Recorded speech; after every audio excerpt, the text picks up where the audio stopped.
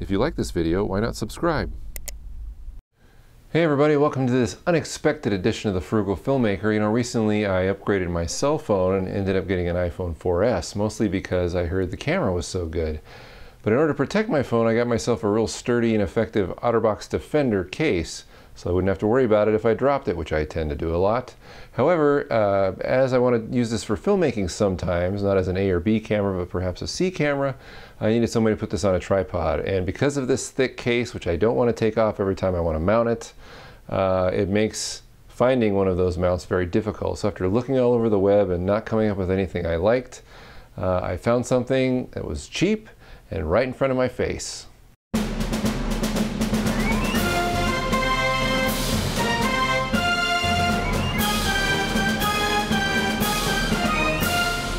So after scouring the web for ways to put this onto a tripod, I re-looked at what the OtterBox came with. And it comes with this. This is a belt mounting system that allows you to slap your cell phone into it like that. It fits nice and snug and you put it on your belt. Now I never uh, really intended to ever use this because I don't like the way that looks. But this whole system is a great way and an easy way to mount your cell phone onto a tripod. I took these four metal parts here that cost between one or two dollars and mounted them right to the belt clip, which I'll show you in a second, and it didn't take any cutting or gluing. Okay, you do have to drill a hole, however, since the case does not have a hole for the camera to see through, you have to make one. So I put my case in a vise and I started a little marker here with some scissors uh, inside of a little flash circle where the mold was poured. So as a reference, I thought it was close. Uh, in retrospect, I should have drilled the hole a little more towards center because my hole ended up being off and I had to expand it. Uh, but here I'm just taking a small drill bit, drilling a hole, and I'm increasing the size of my drill bit until I get to a half inch, uh, which is plenty big for the camera to see through.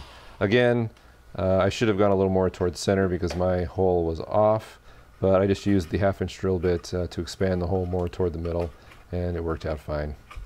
I then took my fingernail and a knife blade and tried to remove as many of the uh, coarse edges that I could find. Then I took some very fine grit sandpaper and sanded along the edges of both sides as well as the inside of the hole. Here's what it looks like so far. Uh, the hole looks pretty professional, everything's sanded, it looks like it belongs there. And notice this little tiny nick of plastic between the hole and the top of the case. If you do go more toward the middle when you're drilling or higher, be aware of that because it could easily break. But notice when the phone is in place uh, and turned around, the camera can see through the hole and it looks like it rolled off the assembly line this way. Now we're going to add our four metal parts. They're listed in the description below. Take your quarter inch washer, put it over the uh, thread of the screw. You are then going to open up the belt clip and pass the screw through it. It's a little bit off center because that's what worked best. Then put on your other quarter inch washer over the thread and attach your coupling nut. Tighten it by hand.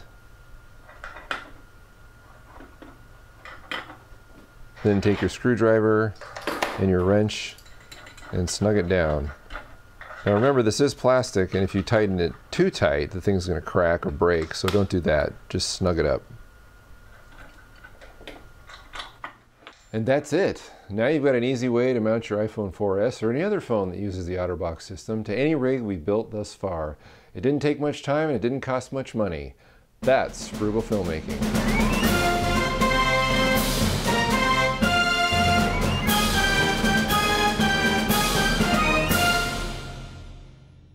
and I've got my quarter 20 tripod mount right here uh, in a perfect uh, fit fitting thing it won't take much time it won't cost much money go do it. Get out there.